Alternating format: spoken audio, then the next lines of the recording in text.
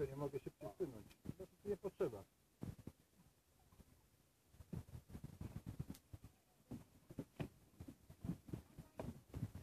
Także Romku, no, masz już tutaj prawie gotowy. Jeszcze dostanie stolik, ławeczkę to, i zadaszenie. I możesz ryby łapać. Spacerować możesz wszędzie. Koła. Mam nadzieję, że będziesz zadowolony. Gdzie jest futrować ryby? Nie, no tylko tak, no musimy zrobić jakieś reklamę małą, nie?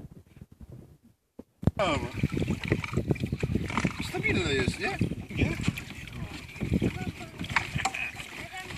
Cześć chłopaki!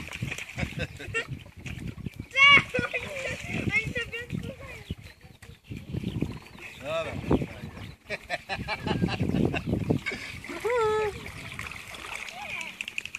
Czy ławeczkę, nie? Stolicę? Tak.